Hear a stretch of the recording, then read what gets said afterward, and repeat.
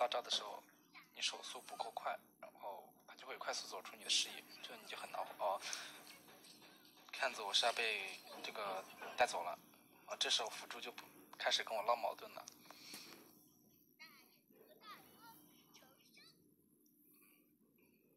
这个东西我待会儿还是要把它给。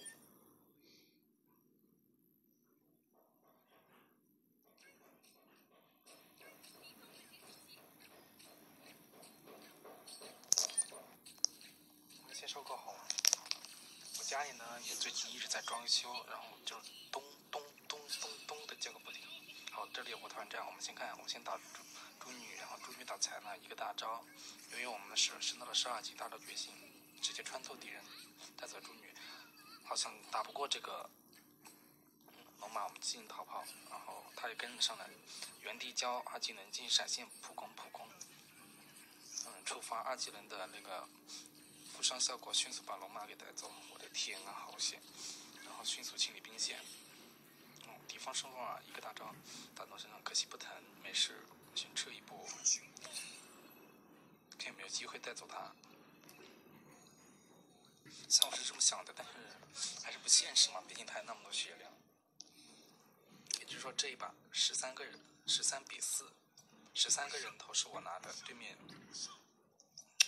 拿了我们绝大多数人头，全是副战绩，看到没有？那个猪女，然后和熊黑，他们都是副战绩的，我看着我都怕，我都不知道有没有信心打赢这一把。逆风局嘛，哦，看一下能不能带走顺风耳，二技能接普攻，普攻，准备逃，然后我们用一技能追。啊，追不上了，看样子是。继续清兵。天赋带错了，没什么伤害，很烦。但是我依然能打出这么好的战绩来。看能不能带走阎罗，普攻，普攻，普攻，普攻，普攻。我靠，我阎罗的大招回血，看来又要死在这里了。从这时候开始。从上一个死开始，辅助就一直没有跟过我。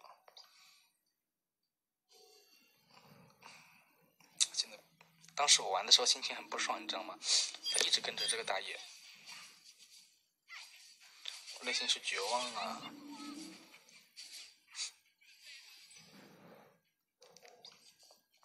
他如果保护我的话，该多好，是吗？直到游戏结束以后，他就从来没跟过我了。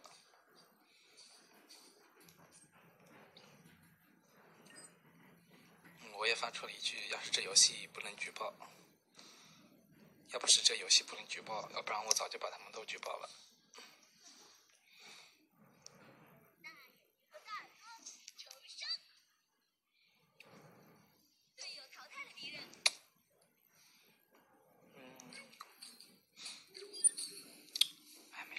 玩游戏还是要放松心态，你不要慌，主要是当时那一段时间我心里就是有点慌，不过后来也没有这种想法了。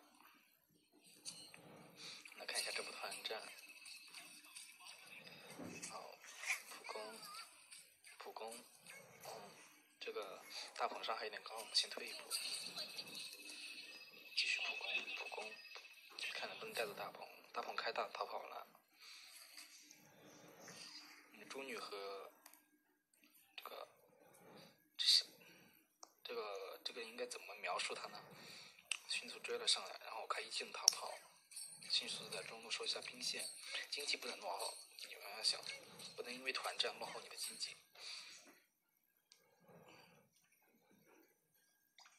哦，过去支援一下，看能不能带走猪女。率先上场，我也是跟了过去，迅速啊带走了猪女，然后把这个骑在坐骑上面的人也给打下来，啊打了下来，阎罗啊继续普攻普攻，好带走阎罗，收个蓝 buff，啊熊黑率先开大，然后撞晕了对面顺风耳，我看能不能有机会。子顺法交了闪现，应该是没机会了。逼他，逼着他塔下，不攻他，A A，好，回率先上场，又率先上场，我决定这个法可能不能烧掉。既然没机会就算了。嗯，我们家辅助被哦大鹏双杀，下路也是兵线被推了过去，把这个大鹏给带走，因为我有闪现，原地放一个二阶，大鹏过来了，普攻普攻普攻闪现穿墙普攻带走大鹏，同样的招数就两个人，是你说这人。哇，兵线已经加高地塔已经破了，是不是感觉人家输了呢？不会呢，有我在呢。我是谁？一个大招带走，毫无悬念带走啊！这子弹飞这么远，看来他是把大招也给交了。嗯？怎么会没死呢？我的天啊！他怎么活下来的？啊，没关系。刚刚还说毫无悬念的带走，呃，怎么回事？哦，是网络有点卡，先清理一下内存。我继续游戏，收一下兵线，然后上路的话，我觉得猪女要看能不能救一下，普攻普攻。打这阎罗打着不疼，这阎罗到了后期就发现这游戏里面坦克都巨肉无比，所以必须穿那个百分之三十五的穿透装。小米要举行一场新品发布会，主角是红米五和红米五 Plus，这是他们之前就公布过，同时官方还打出了千元全面屏的口号，很是吸引人。继昨日发布出红米五和红米五 Plus 的预告后，现在这两款手机的宣传图也已经亮相，看起来跟之前曝光的基本一致。但从宣传图上来看，颜值还是可以让人能接受的。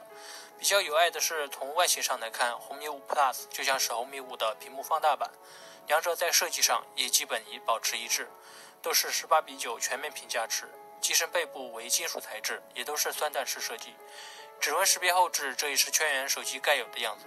值得一提的是，两款手机加入的新配色看起来似乎是有点淡淡的蓝色，看起来很清新，不知道大家是否喜欢。最后再来简单说下配置，会从目前来看的参数来看，红米五配备五点七英寸屏幕，分辨率一千四百四十乘以七百二十机身厚度七点七毫米，内置三千两百毫安时容量电池，搭载一点八 G 赫兹八核心处理器。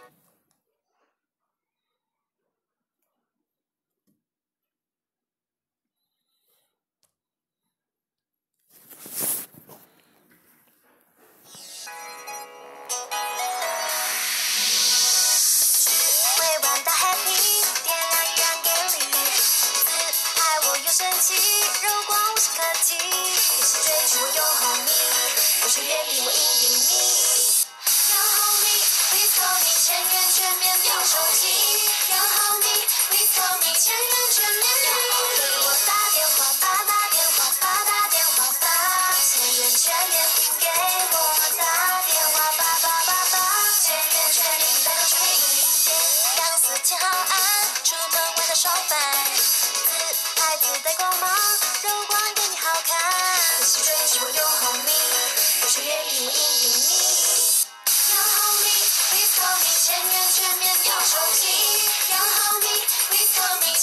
全面给我打电话吧打电话吧打电话吧千元全给我。